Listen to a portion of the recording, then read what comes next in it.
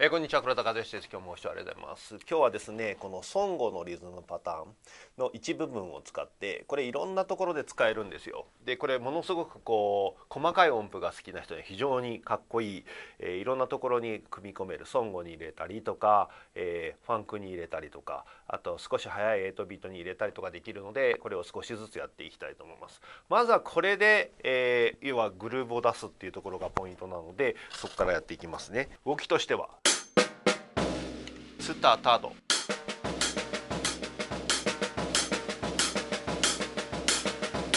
最初の前半のここだけであの回転する感じ。ツタタドツタタド。スネアはできるだけちっちゃくして。で次ですね。ここここはここのスネアにアクセントを入れます。そうすると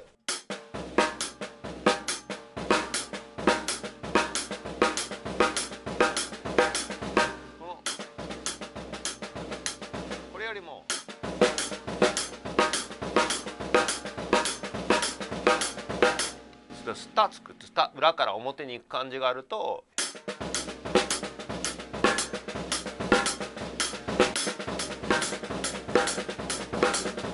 このパターンですねこれが非常に、えー、いろんなところに使っていいかなと思います。でこれはそのまま、えー、孫号の場合はここの部分のここだけ2-3のクラブになってるんですが「うったんたんタンタンタンっていうクラベのイメージでここを強くそうするとここは書いてないですけどここと一緒なのでこことこっちの後半と一緒なのでなのでここだけ変える。でここにちゃんとアクセントつけておくとここからこのここのスネアに着地するイメージ。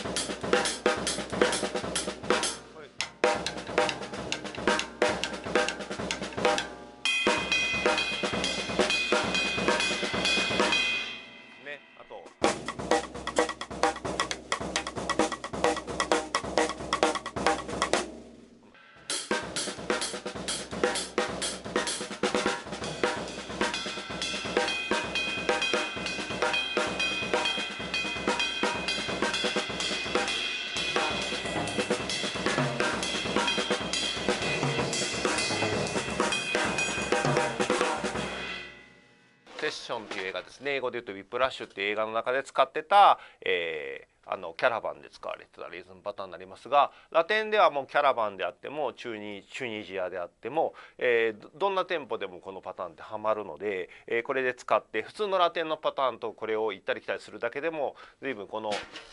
大きな四分音符が出て細かくなってる感じがあるので、えー、なんかかっこいいしなんか分かりやすいという。えー、この普通のラテンのパターンってずっと細かい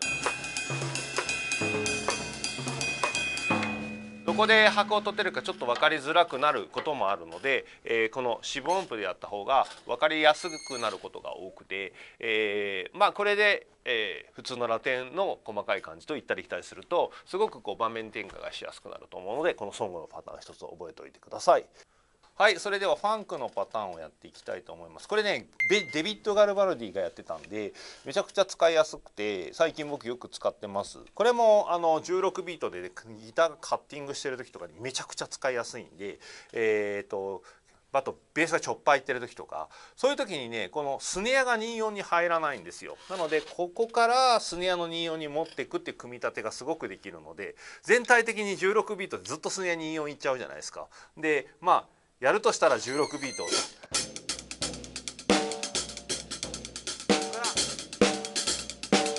こういう展開ぐらいしか思いつかないじゃないですか。それを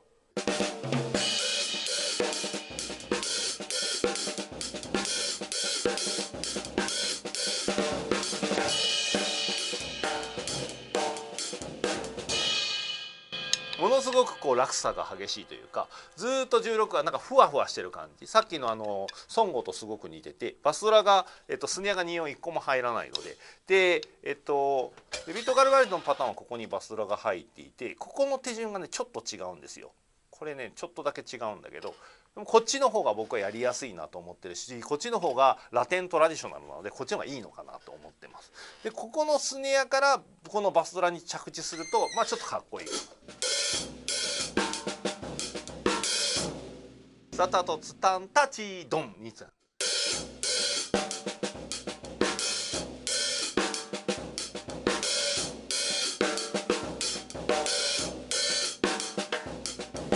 なのでここもこことここにアクセントがあるとめっちゃかっこよくて。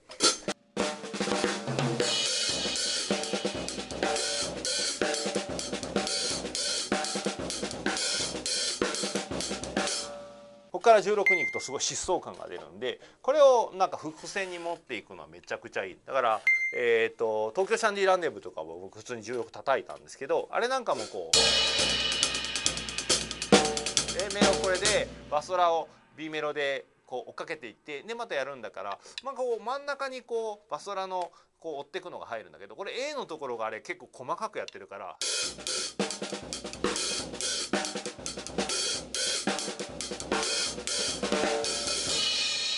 たいな感じでつなげたりとかするとめっちゃかっこいいんじゃないかな。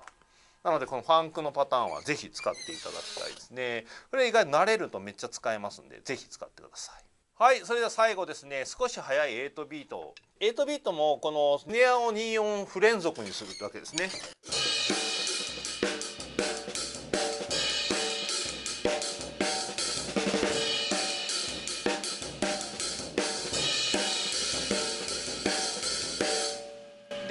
連続をやめるとまた進んでいくみたいな。要はスネアが不連続になると一回こうふわふわするんでこう推進力っていうのがちょっと減るじゃないですか。その分、えー、戻した時に推進力が増えるという仕組みでございますね。でこの時にここ細かくした今16で細かくしてみたんですけどここにこれを入れると。そうするとここもシンコペーションで着地しシンコペーションで着地を裏にしてしまうと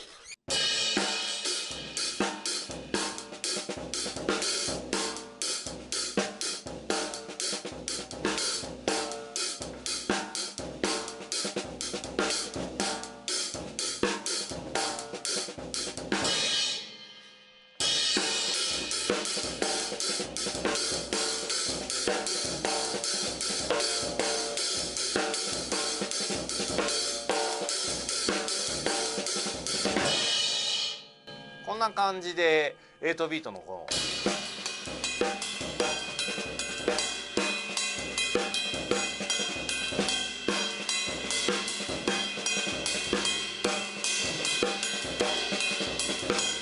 こういう感じでやると最後タカタカタカタカっていうのがこれリニアのパターンになってるので要はリニアっていうのはそれぞれ1音ずつね同時に音が2つ以上鳴ってなくて常に1音だけになっててグルーブする形なんでこれめちゃあの音のバランス良くなるんですよ。なのでこれをここに放り込んでいくとこのちょっとね、えー、少し速い8ビートとかいわゆるその2ステップって言われたりジャングルって言われるリズム。ああいう感じのリズムの雰囲気になります。なのでこれを使っていただければいいのかな。つまり、えー、全て今回は全てにおいてこのツタタドツタドタ。これですね。難しかったらここのバスドラは全部省略でもうまくいきます。ね。例えばソンゴだったら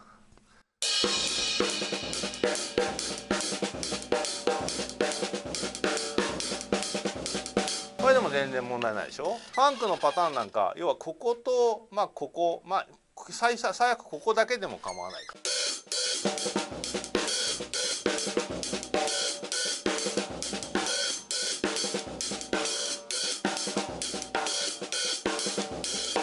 これでも全然問題ないですよね。このここの8ビートも。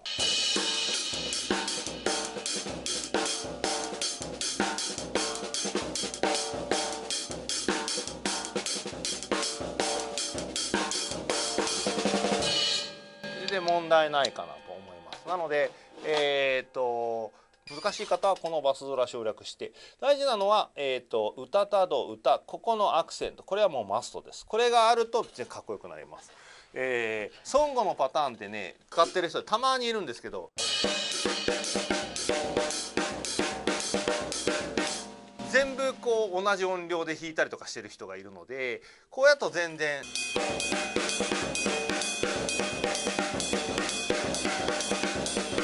なんか結構ガシャガシャしちゃうので。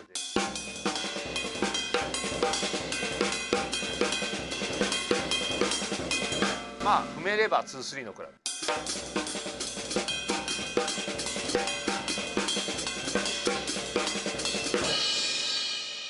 か吹けるとかっこいいかなとは思いますなので、えー、この辺りのリズムパターン全部この肝は歌たど歌った歌たど歌したが肝なのでこれを、えー、まあ要はラテンの要はトラディショナルなものをなんかファンクに彫り込むとかめちゃくちゃたくさんあるんですよ例えば86のラテンとかね。